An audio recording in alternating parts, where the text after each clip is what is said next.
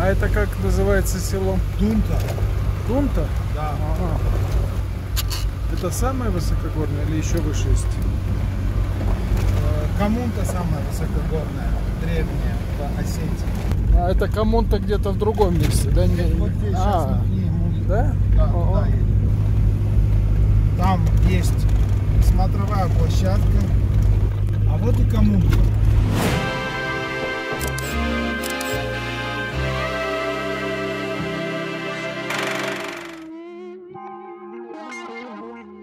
As you have already heard from Alan, the village of Kamunta is the highest mountain village in North Ossetia. It is located in the Digorsky Gorge at an altitude of 1934 meters above sea level. Есть свет, есть телевидение, есть мегафон. Газа нет. Камунта. Селение коммунта. Вот этот дом восстанавливают. Он уже частично восстановлен. И в нем можно пожить а, в таком стиле, как раньше в старину жили осетины. They named the village in honor of one of the first people who settled in this area, and his name was Kamun. Scientists trace the origin of the ancient settlement Kamunta to the late Bronze Age. Just imagine that. One and a half thousand years before Christ. Therefore, when you walk through the narrow, rocky streets of the village, you are seized by an inexplicable excitement. You have the feeling of standing on the steep slope of the rock of time.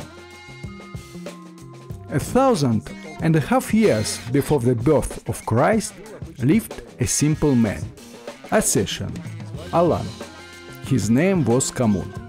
Almost 4,000 years have passed, and his name still lives. Once upon a time, in the early days of Alans, Kamunta flourished, for the village was located directly on one of the most important trade routes between China and Russia, on the famous Great Silk Road. The road that runs along the opposite slope of the gorge is part of the former Great Silk Road. There are numerous burial sites where archaeologists have found a large number of jewelry of the Alan tribal nobility, ceramics, coins, and so on. At present, only 16 people live in Kamunta. However, on holidays, due visits of guests and relatives, this number increases to 27. Kamunta village is listed in the Russian Book of Records as a record holder. As on May 9, 2016, the Immortal Regiment Parade took place in Kamunta. The staff of the book recorded the highest mountain procession of the Immortal Regiment in Russia. And we climb to the top of the mountain where the village of Kamunta is located, about 2000 meters above sea level. Locals call this place the Dog Rock.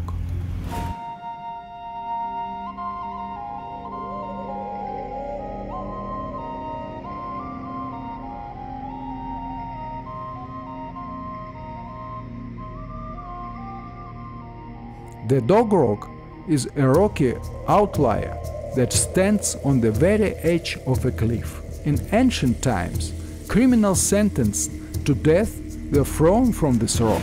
Such execution was considered the most human. The execution of the sentence was always entrusted to the relatives of the offender in order to exclude a blood feud with the executors. Why was the rock called a dog? No, not because it looks like a dog.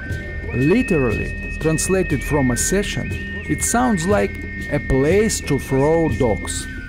And if you consider that people usually call criminals lousy dogs, everything immediately becomes their place.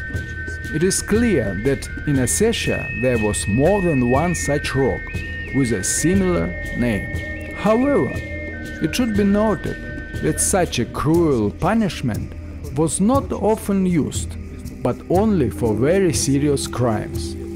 Treason, intentional spreading of contagious diseases, violation of the custom of hospitality, that is, murder or robbery of a guest, patricide, incest.